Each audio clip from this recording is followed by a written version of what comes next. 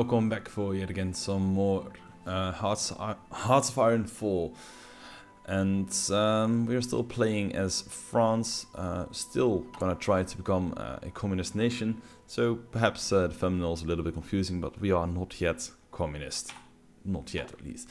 Um, we are also preparing for war with Spain, whether they may be uh, the nationalist uh, or the nationalist Spain or the Republican Spain, but my money will be on uh, the Republican Spain. Um, so yeah, we would really like to become communists so we can actually fabricate claims on Spain so we can uh, secure the southern border. Um, furthermore, still, yeah, it is the second episode, so we are just um, basically getting all the all the things going. And let's see, how are we doing with research? So we are also trying to get radar. Um, so the next buildings we might want to start building is, uh, I would say, get some more refineries going. That way we get oil, rubber, and we are self-sustaining, and we can then free up some more uh, military factories, which in that turn uh, gives us more room to or points to build. Uh, okay, would we also like to advance in this section? I think not. So engineer company it is. Okay, selecting national focus. Let's finish this one, or yeah, let's get uh, some factories in our colonies. Excellent. Um, Oil plants too, also good to have. And looking good. Okay.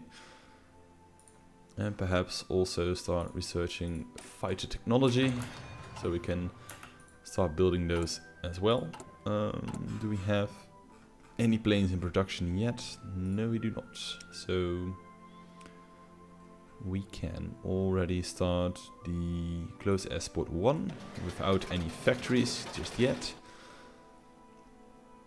And let's see, logistics wise we have a surplus of towed artillery, but only some. Uh, so we could probably start also with the... Uh, so we could edit yet again this uh, template. So there we go. Okay, and also another technology just started. So we are gearing up for war. We very much are so. So let's see, fighter technology.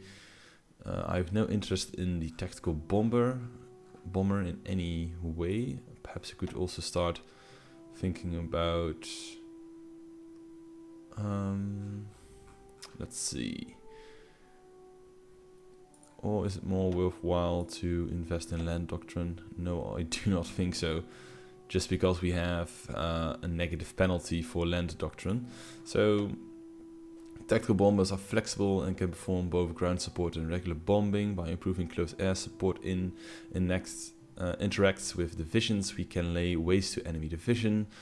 Um, interception detection, uh, age generation, uh, ground support, fighter detection, air support, mm, fighter agility, heavy fighter agility, naval mission efficiency. I don't really care for naval efficiency, strategic bombing. No, it's not really that much. Um, fighter detection, air support missions, ground support, air superiority mission efficiency, or a generation air support mission efficiency. Um, I think I would like to go with air support. Yes, sir. Okay, and we can modify the government as well. Um, in this case, we're not really going to do anything with tanks just yet because we're not going to research anything. Uh, Captain of Industry, Industrial research, research time. Um, sure, let's get you. Thank you for joining. And the next national focus must be to start conforming, uh, reforming the government, revise the Versailles Treaty and then support the left. Yes, and that's basically that way we have all the in, uh, free industry we can get, and let's see. Yeah, so good to go. Uh, how are we doing with the recruitment here? Still just uh, pumping out loads of divisions, and at some point we probably want to enact uh, a different uh, conscription uh, policy. And perhaps the extensive or service by requirement uh, all has a little bit of uh, a negative to it. So, government reform, uh, we have some free military factories as well, so let's start just building and building some airplanes. Okay, and we are going low on manpower as well, so yeah, really want some airplanes. Or perhaps uh, let's invest some more in in here and let's leave the airplanes to this. Okay. Um, how are we doing with tanks? We could start training some tank battalions. So let's see, we have two templates. And this one has a lot of mechanized and two light tanks. And this one has only light tanks. Um, how are we doing with motorized? Okay, um, I think it's safe to say that I really wish to train you guys. Oh no, uh, this one with the motorized. Okay, and just do it like this, and just be here. Sure. And we now also get a low manpower uh, notification. That's not really nice, but hey, it is what it is. Um, yes. Uh, it would be nice if you could just get this one going as quick as we can. So support status quo, we uh, land doctrine, okay that's good to have, and then daily communist support plus 20. And we also got a radar detection. Right, so I would like you to build some radar here, some radar here, and also some anti-air in these regions to start off. Okay, that's good for now, and we have a free research slot. Um, okay, industry we have, artillery we must have as well. And Japan has declared war on both China and Shaanxi. Okay. Unfortunate, but uh, sure. Okay, how are we doing here? Hmm.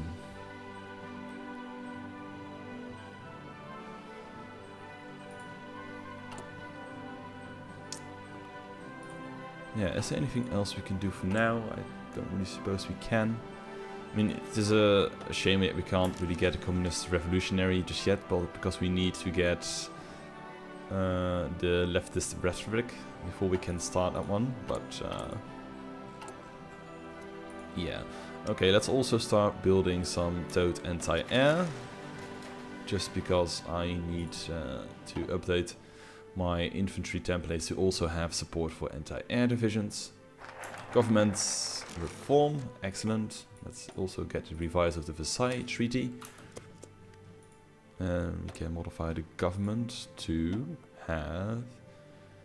Um, is there anything in here perhaps I want to have? I suppose I want a tank, an armor, let's see, tactical bomber, fleet logistics, capital ships, screens, commando, cavalry, uh, motorized attack, plus 10%. Ooh. Please help me. Okay, and let's furthermore get this doctrine going. I mean, at this point we have five uh, research slots, so we are very much uh, keeping up with everything that is happening. Okay. And the offensive army is still just ready to rock. Mm. How are you looking? So we still have quite a bit of divisions.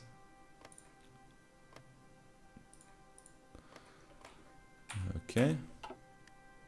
And in this uh, this area something can happen. You can see that he has encircled units, but then again he also has... Um, I suppose these are also encircled in a way, but uh, all here, also a little encirclement. An encirclement is basically something you want to cause as an attacker because you just, yeah, uh, demobilize or just, just render a whole unit useless. It's, there's no real, real way for this unit to break free, unless of course you leave it alone. But yeah, that's basically the way that you can very easily overcome the enemy in this game. It's just like encircle the living hell out of them. Okay, research the anti-tank. You research the heavy tank, sure. And you start researching the field hospital. Mm, what does it do? Uh, organization, manpower, supply usage minus 10%. That could be nice. Or... Mm -hmm. In this case, training time, trickle back. Or... Yeah, just first get the field hospitals hospitals going. Okay. Um, we also have finished researching the fighters, and I really want to have fighters. Yes, and you are very much on the top of my list. Good. Um, we will not get... Uh, it will not increase the, um, the amount of oil we import, because we are just, at this moment, just building uh, oil refineries, or... Yeah, we are building them. Excellent. So that problem should solve itself. And the only thing that's really happening is basically that you um, just have a longer time for it to uh, process. So it just takes more time. Because every turn you do get, uh, let's see, trade. Every turn we do import uh, 24. So it's like 24 and then we come, we need 26 and then another day we import 24. So we are, we are at 48 and then we need still 26. So it uh, solves itself. Okay, support left. Thank you. And we still have something without a template, but that's still not a problem. So just, let's just make a lot of towed artillery and towed anti-air. Okay. Um, then I wish to find this one unit so we can actually get rid of the other template. So sort by type. And then we would have you. Um, what are you exactly? So you are the four four light tanks. So I'll just change you over. Okay, and then I should be able to delete this template. Oh wait, I just Okay, let's give you a different icon. So let's make you a star. Excellent. Oh, and we are making stars. So all the other ones are... Hold on. Um, this guy. So, you guys are here. Okay, and we just want you to become a star. Thank you.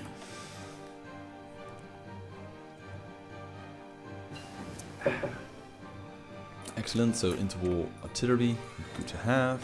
And we can't do this one just yet. We are in 1938, so let's start doing those. Just reduce the research time even further. And there we are. So now, let's see, we have a surplus of one, but we're still importing quite a bit. Um, and this should almost start to tick up. Okay, so the Anschluss of Austria. Austria. Uh, after the successful coup d'etat by the local Nazi party in Vienna, German troops have crossed the, the Austrian border and taken control of the country. No fighting has been reporting and the German soldiers were greeted by cheer cheering crowds in the cities. In a speech before a massive crowd at the Heiden, Heldenplatz in Vienna, Hitler announced that uh, the, Anschluss of, the Anschluss of Austria annexing the country into Germany. The oldest, uh, oldest eastern province of uh, German people shall be, from this point on, the newest bastion of the German Reich. Okay, so this violates the Versailles Treaty like a lot, but hey, there's not really much you can do about it. I mean, yeah, we can declare war, but why would we want to? we first need to eat Spain in its full juiciness. However, um, oh wait, it doesn't really matter because it's basically a fascist faction versus a communist faction. So, yeah, uh, because if Spain were to remain uh, diplomatic and the world tension is above of 20, then all the allies, allied nations are gonna guarantee other um, diplomatic uh, or not diplomatic, but uh, democratic nations, which sucks a bit. Okay, support to left. Okay, uh, should we also just, just get on with it? I mean, I just did finish this one, so leftist rhetoric, rhetoric. So, which does what exactly? So, gains Maurice Thorez and grants communist revolutionary. Okay.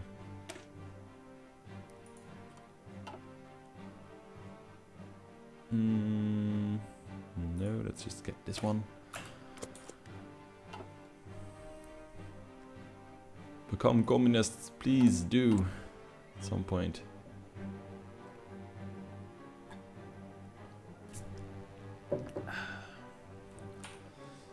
Okay, the first war will kick off in just like a tiny bit, and then we are just gonna kick ass. Okay.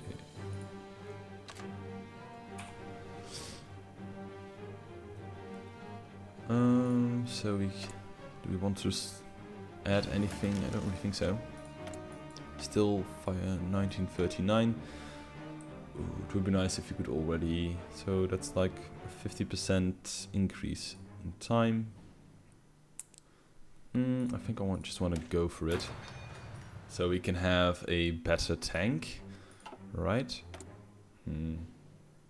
And in that case, perhaps we do want to have a tank designer in place. So armor research will decrease. And we probably should have done it all the other way around. So hard attack and armor or max speed and reliability. I think I want reliability. So we will uh, get AMX. AMX as our... Oh, we can't because we still need to get the army reform going. So we could go for you, for Renault. But I don't really think I want Renault just yet. Sorry, know, I just want reliability and speed. Okay, dive bombing is now part of our repertoire. Excellent. And so 1938, let's get these ones going as well.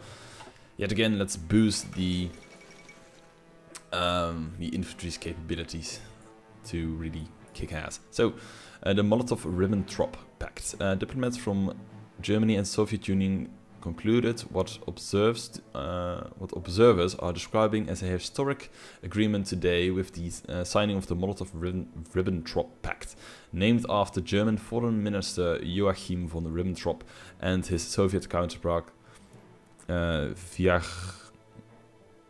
Vyacheslav Molotov. this non-aggression pact uh, attributes that neither side or stipulates that neither side will ally itself to nor aid an enemy uh, of the other. Foreign diplomats uh, warn that this treaty effectively gives Germany a free hand to wage war in Europe without having to fear Soviet intervention. However, if we all look back to history, this Molotov-Ribbentrop Pact had also uh, the agreement that once Germany had taken Poland, that the eastern half would go to the Soviet Union, and that's basically what will happen. But first, um, I think Germany will just do, um, uh, yeah, just first goes after Czechoslovakia, because that's what they usually tend to do. Okay, so the communist threat, another option. So uh, the the threat of uh, that a united Germany and Soviet pose is too great to be ignored. After the two countries' agreement for the uh, partition of Poland, we have a difficult choice to make. If we let Parti Communiste Français operate as they uh, have so far, we open ourselves to international struggle uh, as the Soviets uh, grow in power. By pres prescribing any communist activities or affiliations with Parti Communiste Français, we send a powerful uh, signal to all citizens that we will not tolerate anyone who pose pose a threat to peace. Traditionally, we have been able to include Parti Communiste Français in political discussions, but as they refuse to renounce their allegiance to Moscow, it may be time to make drastic measures. Which I totally agree with, but of course, so uh, prescribe communism in France, which will uh, basically change the popularity of communism, which we don't do not want. Or we could disagreements are part of the, diplomatic, the dip, democratic process. Of course it is, you know, let's just become communist already. Okay. So, however, this is going to be the end of this episode. Um, I'd like to thank you for watching. The next episode, we will most certainly turn into a communist nation and be a happy, happy workers nation. So, uh, thanks for watching and bye.